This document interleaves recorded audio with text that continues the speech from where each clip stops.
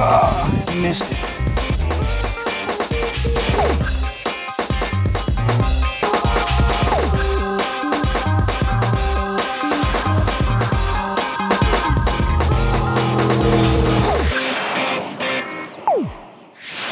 Hey folks, this is Stephen Browning with Z-Man Products. I want to show you guys a little something that, that uh, you can do to your to your chatterbait. Chatterbaits are, are, kind of known in the industry to throw in dingy water, round cover and things like that. But uh, I'm out here on West Point Lake and uh, it's wide open. I mean, there's there's very little cover in the in the water and these fish do a lot of roaming.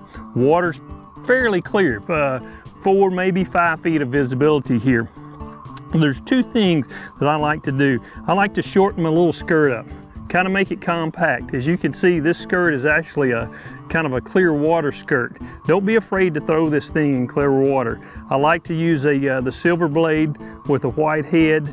Uh, again, you know, you can throw a trailer on here if you wish. Some Most of the time I don't like to, but if I do choose to use some type of little trailer, let me take this little short skirt off I'm gonna throw this little easy tra trailer on here. This is an EZ Skirt trailer and I wanna show you guys what it looks like when it hangs down.